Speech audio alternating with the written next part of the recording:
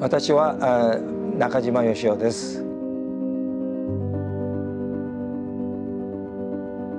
職業はあ今は何だろうな画家かね。あのあの本当は僕は農家の後と言いながらののそういう気持ちで絵描いてるから画家って言われるとさ緊張しちゃうのね、うん、職業は画家。な何でも屋さんミックスメディア何でも屋さんね、うん、何でもやりたい。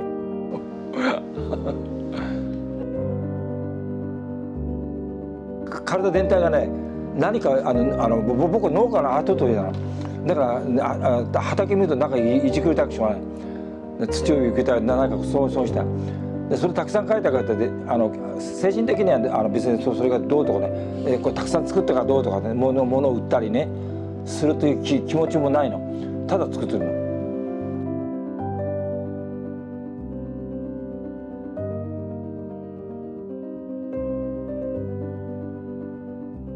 やっぱりあのあのあの生まれて中学卒業するまであのそのアートっていう言葉が口に出せなかった時代だよね。でどうしていいかわからない時代。でみんなほとんどの同級生たくさんいたよ。60人70人80人。でもあのあとはいろんな人が進みついて、ね、戦後は。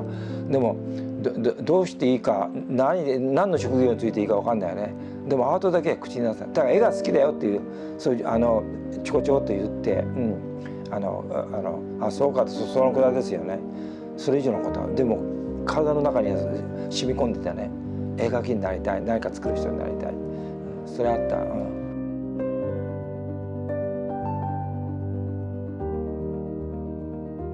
ラテン語でプサイなんていうのはプサイマンダラの世界の道なんだけどプサイマンダラで僕は、まあ、マンダラっていうのは作って壊してまた行くってあのそういうあの、うん、世界がなんとなくねあの自分らしい世界をまた作ったり、うん、でもこれ誰からも教わったわけでもなんとなく俺はこうだって。そうそう。えー、だから最後はもうね言葉は負けるんですよ。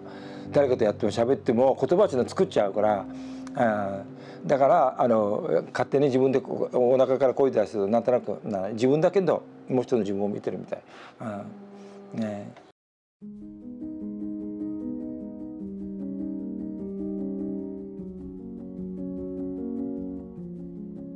エコロジーが好き。あの自然がして花を見ると美しくて山を見ると美しくて人を見るとか可愛くてあの綺麗な子を愛したくなるしもうとにかくめちゃくちゃね。あのただ好きなものには飛び込んでいく、うん、もうわけわかんなくて飛び込んで。そそれはしょうがない、うん、本能 本能だから。だからと特にあのあのでもそれやってどうどうだったこと結果は僕はあんまり求めない。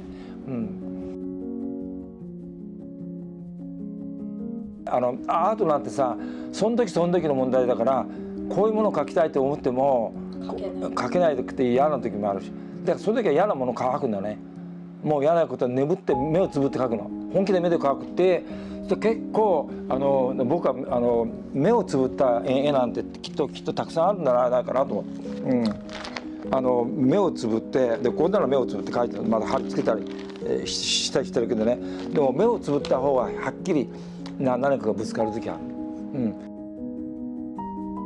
あの偶然で偶然できるのあのあのあのつまんないこと同じ同じものもものできないできないってあのなんかあの職員さんみたいなことやってると何もできない。だから無駄をやるの。つまんないこと無駄やってぐわーってやってるううちにあっっていう出会いが来た時あるの。夜書いて書きて1時か2キロ書いてるとつまんないけどそうするとね100均で 100, 100枚ぐらい100均で買うと結構ねたくさん紙がくるの。本当にそういうのを書いてるうちに急にいいものができちゃうのね。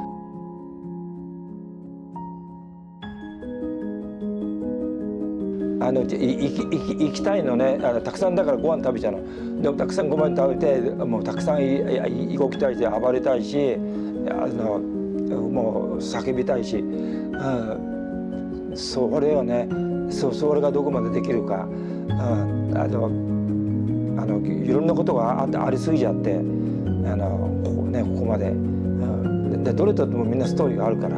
でもその時はその時その時で、本気だからね。だから何かを政治運動みたいな何かの何かをしてこの姿勢であのどっかの会に入ってこうだとそういう運動じゃない。自分が何かをするにはどうしたらいいかってね。だからアーティストということより何か作りたいんだよね。でもそれも自由に。